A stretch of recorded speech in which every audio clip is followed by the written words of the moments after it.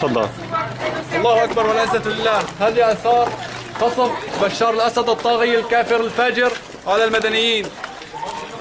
هنا كان يقطن أكثر من 10 أو 15 طفل في هذا المنزل ولكن رب العالمين هو اللي بيحمي. يا بشار الأسد فاقد الشيء لا يعطيه. رب العالمين بيعطينا الأمان مو أنت. الله أكبر رب العالمين بموتنا مو أنت. الله لا يوفقك هنا قاعة حصن مكان سقوط أحد البرايم المتفجرة صور هيك صور هيك صور هيك المنطقة كلها صور شوفي شوفي. صور الله أكبر. تول يا محمد تول لك بشار ماري. ليك. ليك.